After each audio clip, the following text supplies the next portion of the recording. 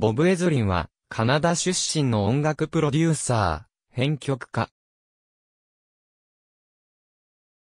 主に、アリス・クーパーの作品プロデュースで知られる。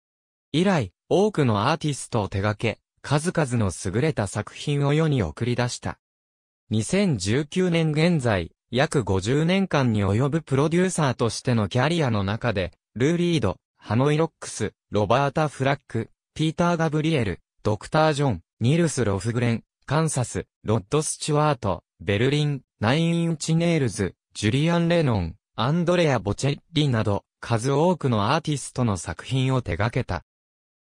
特にキッスのアルバム、地獄の軍団や、アリス・クーパー、ピンク・フロイドとの仕事は、彼の金字塔である。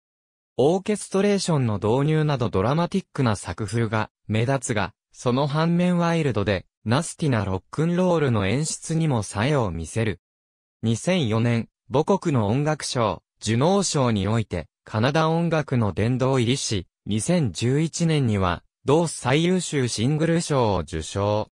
2013年、地元トロントで、功績者に贈られる、名声の歩道に選出された。ニチェロズ・アーサメージャー・アーミー・オブ、エニワン・エアロスミス・エスケープ・フロム・アース・エロ・エスデル、シレニシオ、ピーター・ガブリエル・カンサス・キッス・デビッド・ギルモア・ザ・キングス、クーラ・シェーカー・ザ・ジェイホークス・ロッド、スチュワート・クリスティン・チェノーエス・ディープ・パープル・ティム・カリーザ、テノールズ・デフトーンズ・テレフォン。ドクター・ジョン・バウアオ、ハノイロックス・ハリウッド・ヴァンパイアーズ・バルーナティック、ハンガイ・スティーブ・ハンター・ピンク、フロイド・フィッシュ・フェフェ・ドブソン・フロー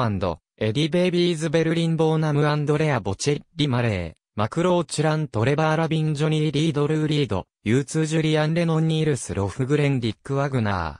ありがとうございます。